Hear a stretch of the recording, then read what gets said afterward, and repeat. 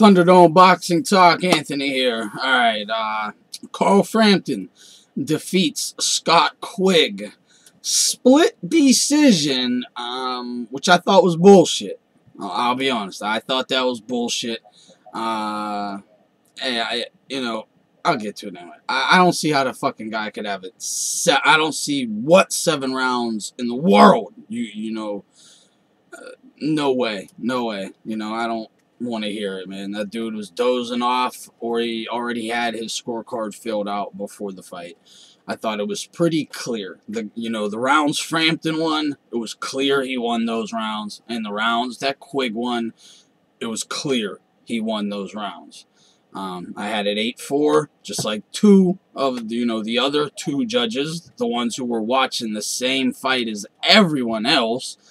Um, one swing round, maybe, you know, one swing round uh, at most, you know. Um, and that's that, you know. I did think there was one swing round, um, you know, but I, I couldn't even give it 7-5. I could have actually went 9-3, to be honest.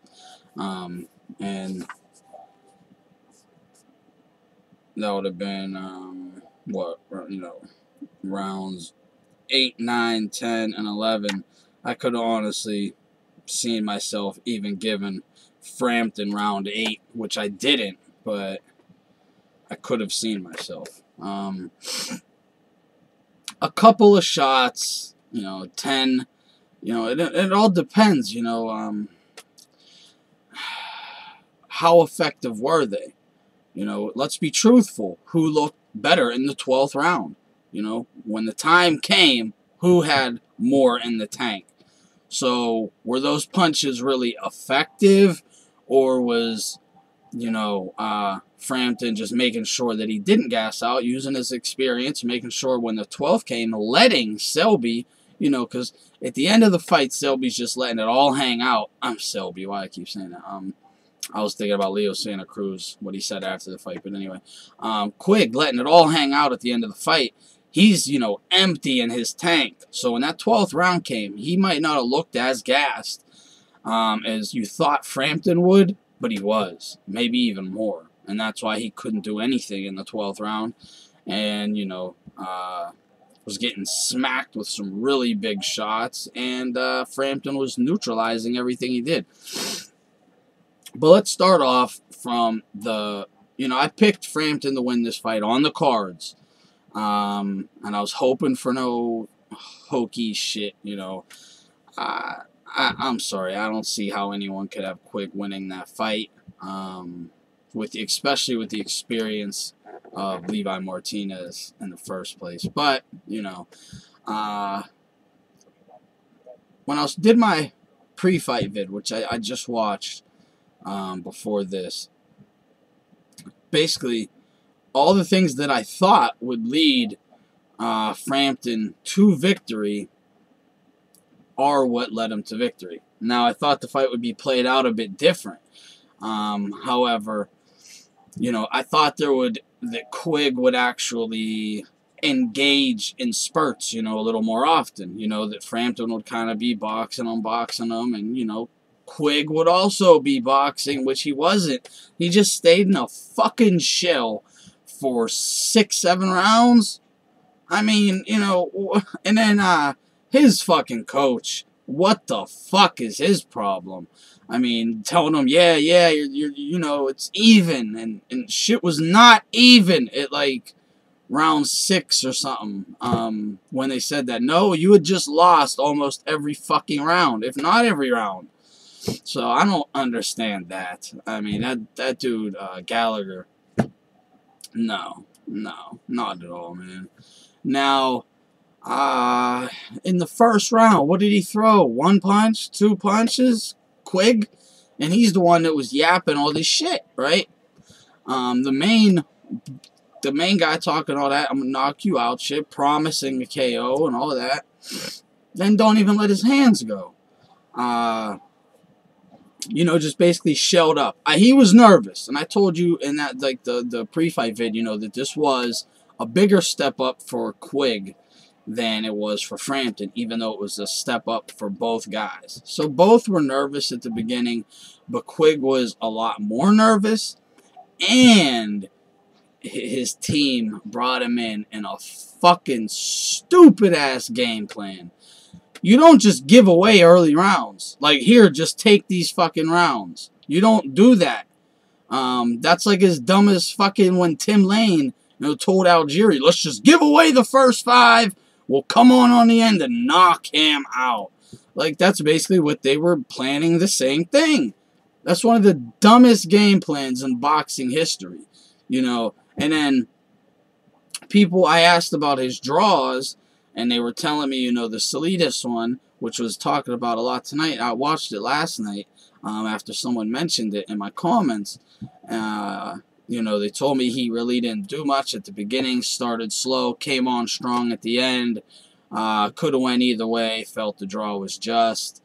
Um, I do too. I felt the, the draw actually was, you know, a draw, or possibly could have even given it to Quigg.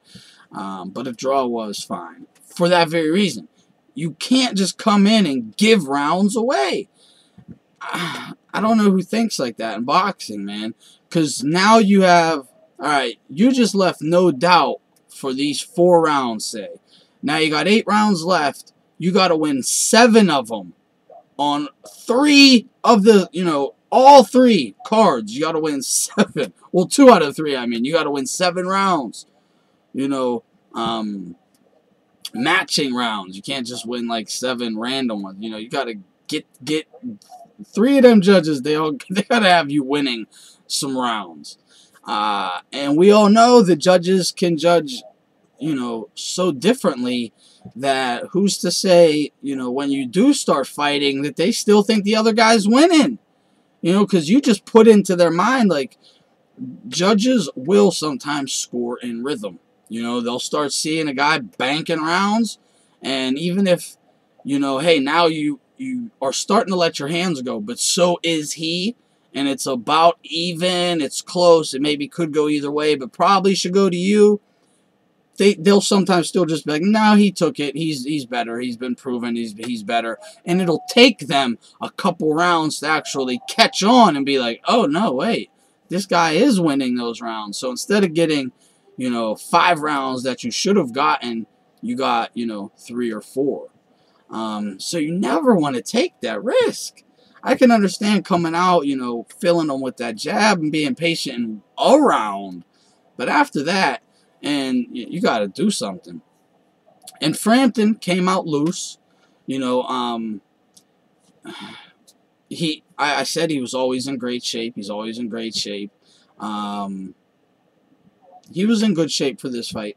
Um, I started to worry that maybe he wasn't, but then the way he finished in the 12th, yeah, he, you know, you know, he had it. Um, it all came down to, you know, the fundamentals. The, the head movement the upper body movement, the multiple looks that he was able to give Quigg and, you know, disrupt Quigg. I mean, you know, Quigg was fighting just one way. Hands up high, tucking them deep, and stalking. Uh, but, you know, like I said in the pre-fight video, it's hard for some of these guys to time um, Frampton because he's giving you so many different looks. He's bending down low. He's popping his head over here, over here. He stands up. He's working the jab. You know, he's sidestepping over and sidestepping back over to this way. He's coming forward. He's going backwards. I mean, you know, he can fight so many different ways. It's hard to really get it down. Now, Quigg is fighting one way and one way only. Frampton could get that down. You know, he was able to basically anticipate when Quigg might do something and hurry up and hit him first put him back in the shell, which was what I was saying Quigg needed to do to Frampton. You know, keep Frampton from throwing as often as possible. You know, you want to limit his output. He did the complete opposite. The complete fucking opposite. Just let let Frampton throw all round long. You know, and maybe I'll see an opening I like and go for a big bomb and miss three out of four of them. You know, no, that you're not going to win a fight that way. I'm sorry, um, not going to happen. And at the end, he, they asked him, you know, do you think uh, maybe you should have started a little faster? And he said no. You know, the I heard the la- one of the last things he said was, and I think he only said it because like 20 different people had said this to him already. Hey, you think you should have started faster? You think you should have started faster? And he kept saying no, no. And then finally he was like, oh, I'd like a rematch. You know, maybe I would start faster. He's, you know, you only said that because you just heard, you know, you should have did that 50 times and you're trying to sell the rematch. Would you? Probably not. You know, it, and we hear he's, you know, and from what we, it's not even what we hear, it's from what we, you know, can tell and see is that this guy is in the gym constantly. So why should he be even questioning um, his own stamina? You know, he said, well, I didn't want to, you know, come out hard at, at first and then, you know, run out of steam. No one said you had to come out going 100 miles an hour from the gate, but from you saying I train like a fucking demon, you should actually be able to do that. You know, come on. But, okay, you train like a, a hard, you train very hard. You should at least be able to go at, you know, 80%, 75% for the first half of the fight. you know, then, you know, judge yourself and pace yourself to, you know, go full speed here, step back, lay off the gas, catch your breath, keep going, you know. You know when your when your body is running on E. Um, he waited way too long. Could he have done anything earlier? I don't think he could have. Uh, anyway, honestly, I don't. Um, Frampton was too sharp at the beginning. He needed Frampton to, you know, because he wasn't doing shit. So he was still like a hundred percent when that sixth, seventh round started because he didn't do anything. You know, it's not like he took a ton of punishment to where now he's no longer 100%. No, it's like damn near the first bell just rang. But Frampton had just thrown a whole bunch of punches, so he's, you know, now he's running on like uh 60% uh, uh, of gas and you still got like 90%. Okay, yeah, that's what it took for you to to go neck and neck and barely nicking rounds. No, that's why you could he couldn't do it at the beginning because of the head movement, the the fundamentals, the upper body movement, the footwork, the anticipation, the experience, the you know, I couldn't believe how easily he was just letting uh Frampton just walk inside. Just walk inside. You know, I kept saying he should be popping that jab, you know, um, at different speeds, stepping back, stepping back, you know, keeping Frampton trying to, to get in and try to agitate him, make a mistake, and rack him. You know, every time would try to come in, wing a good shot or two. Not, nothing. Nothing. You know. So then he's left with his corner telling him, oh, you're losing the fight. you know, the fight's done if you don't basically get some knockdowns or stop him. We ain't winning this fight. Why didn't they tell you that way earlier? Because he could have told him that three rounds earlier. Um, you know, if, if you continue to fight this way, we are 100% losing this fight. Um, you know, you're the guy that just told him he was doing good and it was even. Now it's like you're losing this fight. You're you have you have no chance of winning this unless you go out there and give it give it everything. I don't think that Gallagher is a good uh good coach at all. I don't. Um, I don't. I heard he, you know, uh, yeah, he he can have some good wins. I'm not I'm not seeing the talent in him uh, at all. You know, I'm not his advice in the corner, his game plan, everything was just atrocious. Um, Quigg can't blame it just on him though. He has to blame it on himself. Uh, yes, you're supposed to listen to your team because that is who's going to get you through a big fight like that. But, you know, you're a fighter. You're not put in that ring to just stand there. You're in there to fight. You know, yes, Frampton might have been barely taking them rounds because, you know, hey, if you're not going to do anything, uh, you know, I'm and I didn't like that Frampton was doing this because normally he was. I talked about how good of a combination puncher he is, and they were talking about that too. You know, Where were the combos? Instead, he was just one shot, bang, ripped to the body, you know, one, two, big two, you know, a left hook, ripped to the body, and then he just peck away, peck away, stay busy. But I was, I'm the same belief as uh, Frachat. I don't know if everybody got to listen to the same broadcasters. What the what we heard in America, those dudes were dick riding Quigg so hard. Uh, I don't know why. Uh, maybe they're you know friends with him or whatever. I don't know, but and them first rounds when Quigg was doing absolutely nothing, they would they would just talk about him. You know, the replays were him. You know, landing his one shot. Uh, I, I, I couldn't get it. You know, I was like, hey, uh, Frampton just won fucking multiple rounds in a row. Why are you shitting on Frampton and giving Quigg props? Uh, I I didn't like that at all.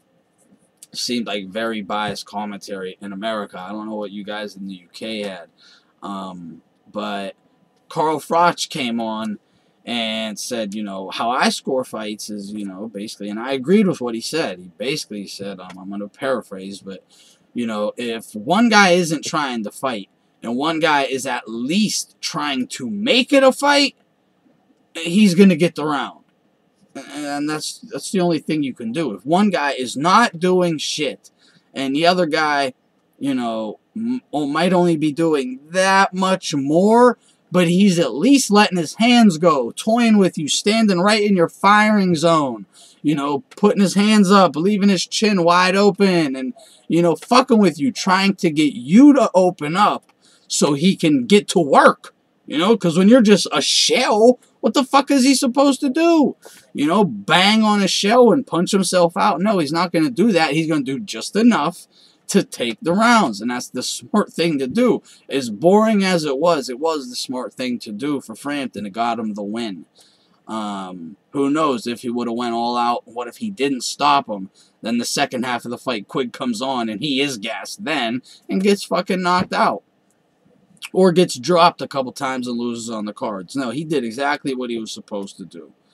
You know, he did. Um, He's not a big, big puncher. I mean, Quigg is the bigger puncher, and even he's not a big, big puncher. So, you know, no one was in there looking for that one punch shot. Uh, honestly, you know, I don't know. It, it, it, was the first half of the fight was trash. Um, second, I mean, it was still interesting. I was still very into it because I knew at any moment a fight could break out, a big shot could land. Um, so I was still very into it. However, you know, I was very disappointed in Quigg, especially with all the shit that he talked, like on the face-off with uh, uh, Nelson and everything. You know, it was like I expected, you know, for him to, to come out and do his thing. And you think they would have learned from the Salinas fight, right? You learned on that fight that that's, you don't do that. You know? You're lucky you got a, a draw in that fight. It could have went the other way, too. You know, yeah, it could have went to a W too, but you also could have got an L. Um, and that ain't how you fight the biggest fight of your life. Yeah, I couldn't. I yeah, I don't know, man. Steve Farhood said it the best at the end. He said either uh, Quigg came in and froze for seven rounds, or that was the stupidest game plan in the history of boxing. I think it was a bit of both, but mo mostly the game plan um, you know, mostly the game plan. Because whenever he was told to start letting his hands go, he did. Um, so I, I could blame him mostly on the game plan, but Quigg should have known that he wasn't winning those rounds. You know, and that after four or five rounds go by, like not even four or five, three, three rounds go by. Uh, okay, it's time to get busy now, right? And he should have been at least, you know, trying to keep those rounds even. That way, you know, they could flip-flop on some of the judges' cards. He he gave himself no chance. That's that was my whole problem. Um, now, the winner, Carl Frampton, is now the unified um, I, IBF champion and uh, WBA uh, super bantamweight unified champion. And I know Rigo is one of his mandatories. They didn't ask him about Rigo at all. which I was pissed about because I wanted to hear what he was going to say about Rigo in the press conference, post-fight presser. I'm sure someone's going to ask about that. Um, but we know the answer. It's going to be he's taking a rest. He just had a long camp. Well, then we'll think about opponents later. And he said, if a big fight like Leo Santa Cruz comes calling, I'll take it. Well, Leo Santa Cruz already said, you know, it, it, right after the fight, it went to Leo Santa Cruz um, versus Kiko for tonight, which I think is a fucking retarded ass fight. Um, it shouldn't even be happening. I don't know how this guy is even, you know, getting a title shot. Voluntary, not, it's just no, shouldn't have been allowed. All right, you want to take it? The fucking title can't be on the line. That's what they need to be doing to these guys. But they want their fucking sanctioning fees, so they'll they'll let anything fly. Um, I mean, come on, you know. Uh, but um, you know, it's a fucking like 5'8", 69 inch reach Leo Santa Cruz versus like little 5'5", 66 inch reach. Um, if that, if he even has 66 inch reach, I think that's what he has, but I'm not sure. Um, Kiko, old Kiko, super bantamweight Kiko. Um, you know, could get been getting whooped and knocked out. Kiko, come on, man. And then he doesn't even call out. He doesn't even say, "I want to unify with my division," right? No. Um, Frampton says, "Hey, Selby, Santa Cruz." Um, did he maybe say Gary Russell? I don't know. He said three names, I think, and I remember Selby and Santa Cruz were the names, or two of them. Then he said some, another name, I believe, um, which I didn't like because I want to see Frampton and Rigo. You know, hey, and if you're gonna run up out that division without fucking letting uh, Rigo get his belts back, like fight fucking Rigo and let him try to get his belts back, right? Come on. Come on. Um, his belt back. Get in there. Get in with this fucking guy, you know, and let, let's see what happens. Um, hey, I think I know what happens, but I want to see it, you know, because I don't know for sure. That's the reason I want to see it. Um, if I was 100% sure that Rigo wins, I wouldn't need to see it. But I don't want Rigo to, you know, Frampton just had his big money fight, okay? And we know that the Rigo fight with either of those guys didn't happen because that fight was going to happen first because it generated so much money. And they didn't want to to take an L before that. Okay, that fight's out the way now. What you do now is you fight the best in your division. Who is that? Rigondeaux. Rigondeaux. Rigo, right? You fight him. If you lose, then you go up to 126. It's that simple that simple. If you win, you still can go up to 126. But you got to fight the best guy in your division, man. You can't be hanging around this guy for fucking two years, you know, almost three years talking about fights and it never happens. And then you run out the division without even fighting him. Nah, nah. Um, plus, you might be able to get that fight in somewhere like Ireland. You know, maybe, uh, you can get a huge percentage of it because he would clearly be the, the draw in the A side or even put it in the UK somewhere. Um, you know, Rigo might be able to get a fair amount of money out of that, you know, but he ain't getting no, you know, 60-40 split or, you know, 50-50 split or nothing like that, but he could get a nice chunk of change, um, more than he's going to get fighting, you know, anyone else. So why wouldn't he take the fight over there, right? Um, if he should anyway. He definitely should. You know, if they offered him like 700 grand, shit, they offered him 500 grand. He should fucking be on that and taking that. Um, but I think he'll make that anyway from just just from Roc Nation and shit. Um, I don't know. I think he has to fight Rigondeaux. Then go up there. But I don't think it's going to happen. Because it seems like Haymon already has that plan. Like he got Frampton, he just made Frampton into a you know big name fighter, just unified the titles, all that, and now he's gonna have he has a guaranteed win coming for Leo Santa Cruz tonight, and Santa Cruz isn't calling out Loma, isn't calling out Walters, isn't calling out um, Rigo. Did like did, did did people forget that this guy ducked the fuck out of Rigo and now he said I want the winner of Quigg Frampton? How about same for this guy? If you want to fight a smaller man, how about you fight the best smaller man who is Rigondeaux, who you ran from for your whole for fucking ever, who you were scared to death to fight and apparently still is. You know, I'm I will I would guarantee you Rigo would go to 126 and fight him. No problem. I I, I would guarantee it. Make the offer and I bet you Rigo takes it. You know. So he doesn't want to fight, you know. He doesn't want to unify with Loma. Uh, doesn't want to unify with Gary Russell Jr. In-house fight can be made like that. Uh, no, he wants to fight another smaller man. You know, uh, shit, who's even smaller than Kiko. Yes, he's in his prime and all that, but he's even smaller than Kiko. You know, same height, but uh, uh, an even a, a 60, 62 inch reach, right? 62 inch reach versus 69 inch reach. And Leo Santa Cruz ain't no Scott Quigg. All right, Santa Cruz would beat the brakes off of Scott Quigg. All right, so Santa Cruz would be the favorite in that fight. Uh, don't get it twisted. I don't like him, but he is the favorite in that fight. Um, you know, he fights a lot of bums and all that, but, you know, he's a decent fighter. And he's a solid fighter. Frampton ain't hurting him. He's going to walk Frampton down and just keep punching and punching and punching and punching. And he'll probably win a decision. You know, maybe even he'll he'll probably win a decision. You know, but still, the point is he'll win.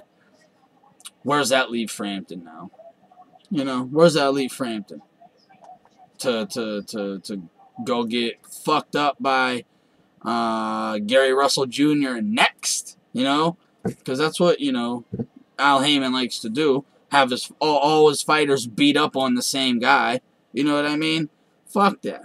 You know, I don't know. What the fuck is Santa Cruz calling out the winner of uh, Frampton Quigg for? You know, why? Why? You should be wanting to unify your own division. Just like, you know, Frampton should be wanting to unify his own division and certify, you know, that he is the best of his division before moving up. Um, you know, it's like uh, I, I would love to see Crawford move up, right? But I don't want him to. Uh, at all. I'll be pissed if he does. And he's one of my favorite fighters. Like, one of my favorite, favorite fighters. I can't fucking wait to see him fighting. You know, well, there's going to be an undercard first, but I can't wait. Um, he has to prove he is the best at 140. Yes, we all suspect it. Just like we all suspect Rigo is the best. And we, we, we know that Rigo and Frampton are the best at 122 right now. They have to fight. They have to fight. And we need to see, you know, uh, Crawford and Postol. Have to see it. We have to see Crawford and Broner. Have to see it. You know, now if Broner needs Broner just won't fight him, okay, I get it, but you at least try to make the fight. You know, we got to see him against these guys. You know, a Provodnikov. Put him in there with a Provo. Let's see what he can do.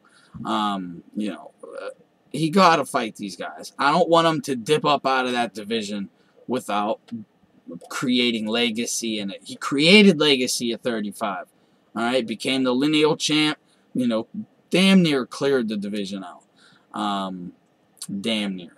Um, but he was the man, and he, he couldn't make the weight no more anyway. So he came up here. He can make this weight. He can create legacy here, and it's a good division for legacy. A um, lot of good fighters there. A lot of good fights. You know, this Hank Lundy, um, good stay busy guy, but it has to be the last of these stay busy type names. I don't want to see another fucking Beltran. I don't want to see another fucking Dulorme. I don't want to see another Lundy type name. It's over. Fight guys like Herrera. Uh, you know, shit. Um, even a, a Benavidez. anyone, man. Just somebody. You know, start fighting, you know, upper echelon guys from your division. Mostly world, you know, Postol. and Broner and shit like that. Try to unify. And uh, Troyanovsky, the Russian guy. Um, then boom, you're undisputed. I mean, that's what he should be gunning for. Uh, that's why, but I feel that way about every fighter. You shouldn't be fucking worrying about bouncing around weight divisions and snatching up easy fights and, you know, unless it's like a, a, a Manny Pacquiao fight at 47. Okay, I get it. You know, you got to go get that kind of money and that kind of fame. You jump at that fight. But you get your ass right back down to 140 and get back on your game. You know, uh, create legacy. Saying, I don't want Frampton, see, Crawford could go up and possibly beat Pacquiao, right? Might lose too, but the thing is, you know, he has a chance. I don't see Frampton having a chance against Santa Cruz. I don't. So it's like, why even go up there? All you're doing is they're going to blow your head up and put you in the ring and get you beat for no reason when you can create legacy at 22. And he said, I can make this weight easy. Trust me, I can. This was easy. Them rumors, they were all that rumors. So if you can keep making this weight easy, then fight Rigondeaux. That's the fight everyone wants. Alright? Like, there's one fight at 122 that the world wants. You know, Carl Frampton versus Guillermo Rigondeaux. That's it. You can't leave the division and not give it to us. You know, I can understand if you try to make it and Rigo is being, um, pricing himself out type shit, you know, uh, then okay. But hey, you gotta try. And you gotta try hard. Because you should want to prove you are the best in your division. You know, if you gotta make some concessions, uh, you know, let up on the diva demands a bit, do it. Just make the fight. And let's see what happens. Because then if you lose, uh, you know, you don't, I wouldn't say use it, but you, you know, your fans could always, as long as you went to 126 afterwards, his diehard fans and supporters would be like, yeah, he only lost because he couldn't make 22 anymore. He killed himself to make the weight. You know, you know how it happens, man. They'll throw them rumors out before the fight just in case you lose. Um, then the next fight you move up. You know, and then it all looks like, oh, he only lost because he couldn't make the weight, even though, no, motherfucker, you were 100% and just got spanked. But that's boxing, right? They do that. I want to see unifications. I want, you know, clarity in these divisions. I'm tired of, you know, it's called undisputed for a reason, so there's not disputes on who the best is. Because right now, I can sit here and be like, you know, clearly I got Rigo here. I do not think that, but I can I can sit here and say Carl Frampton is without a doubt the best 122 pounder. And if you think he can't beat Rigo, you're you're a fucking idiot. Or if you don't think he would whoop Rigo, you're you don't know shit about boxing, right? Because you can create a dispute, right? Well, hey, this guy's, you know, he's a whoop the top guy at 22. He's a you know unified champ. Rigo's over here not doing much at the moment you know, hey, there's a dispute. But then I can come over here and be like, hey, Rigo we'll just mollywop your guy. You know, he'll mollywop him. He'll take him to fucking school. You know, he'll give him a lesson in his back in your in the UK, in Ireland.